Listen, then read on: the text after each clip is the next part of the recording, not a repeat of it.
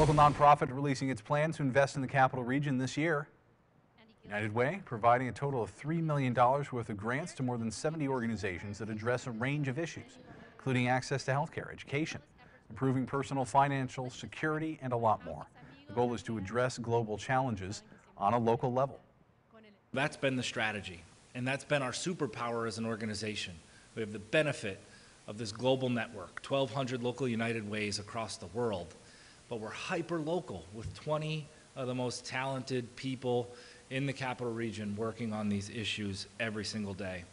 More than half of the organizations receiving funding have less than $1 million in their annual budgets.